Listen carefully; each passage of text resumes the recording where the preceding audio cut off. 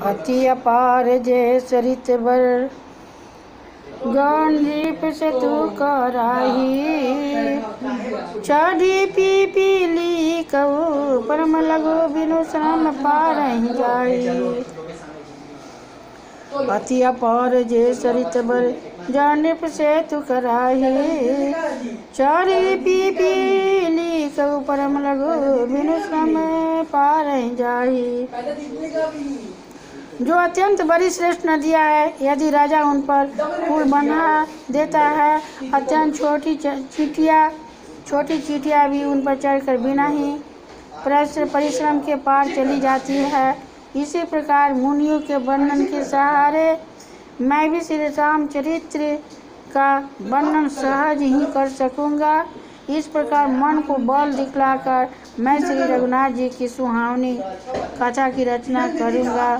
व्यास आदि जो अनेकों श्रेष्ठ कवि हो गए हैं, जिन्होंने बड़े आदर से श्री हरि का सुजस वर्णन किया है, मैं उन सब श्रेष्ठ कवियों के चरण कमलों में प्रणाम करती हूँ, प्रणाम करता हूँ। वे मेरे सब मनोरथों मनोरथों को पूरा करें।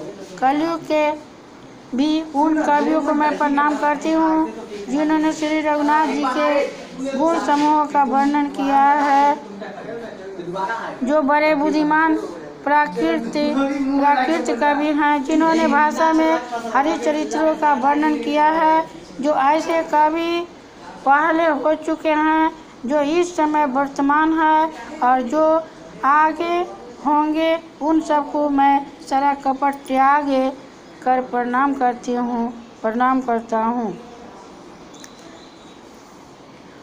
आप आप सब प्रसन्न होकर यह वरदान दीजिए कि साधु समाज में मेरी कविता का सम्मान हो, क्योंकि बुद्धिमान लोग जिस कविता का आदर नहीं करते, मूर्ख कवि ही उसकी रचना का व्यर्थ व्यर्थ परिश्रम करते हैं। कीर्ति कविता और संपत्ति वही उत्तम है, जो गंगा जी की तरह सबका हित करने वाले हो। श्री रघुनाथ जी को की कीर्ति तो बड़ी सुंदर, सबका अनंत कल्याण करने वाली ही है, परंतु मेरी कविता भदी है यह असाम जस्य, असामजस्य असामजस्य, अर्थात इन दोनों का मेल नहीं मिलता, इसी की मुझे चिंता है।